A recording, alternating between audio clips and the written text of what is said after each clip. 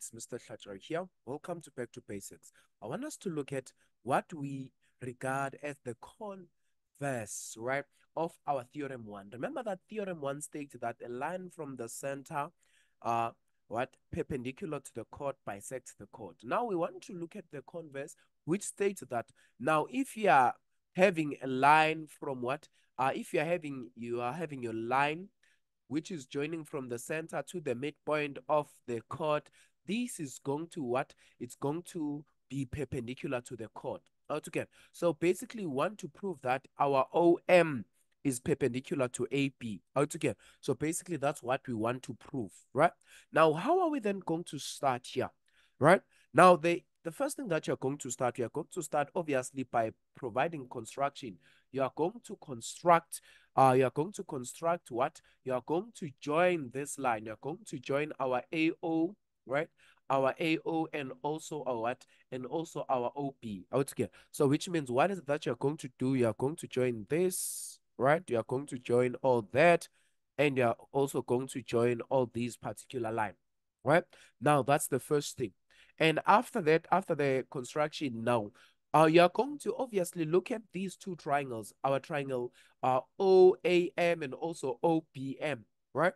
Now we are going to look at both of these particular triangles. You're going to say now, uh, in triangle OAM and also our triangle what? And also our triangle OBM. Are would again, uh, we are going to look at these particular two triangles and try to find out uh, what and try to prove congruence between those two triangles, right? Now, the first thing that you are going to take out, look, obviously our AO is going to be close to your OB. Why is it so? Remember, this is a line drawn from the center to your what? To your uh to your what to your circumference of your circle, right? From the what? From the center to the circumference of the circle, right? So which means this is your radius, right? So since they are uh this is plural, it's going to be radii. Out again, or the radius, right?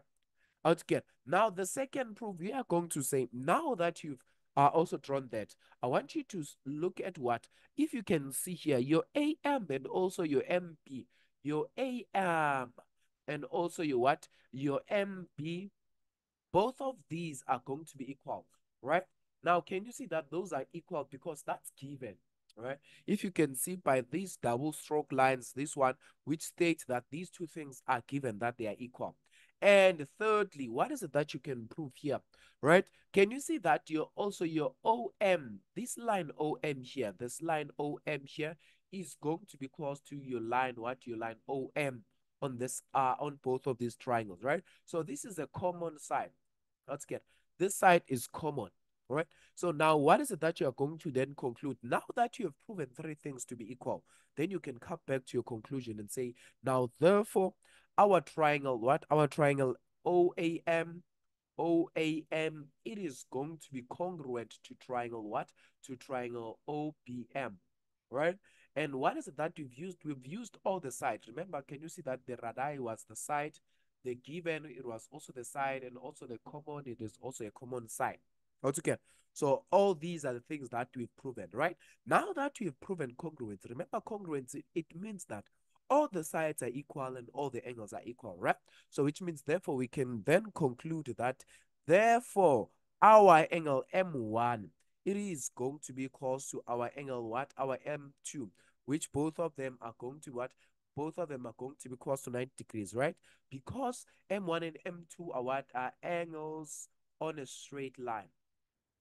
Altogether, these are going to be angles on a straight line. That's why M1 and also M2 are going to be equal, right?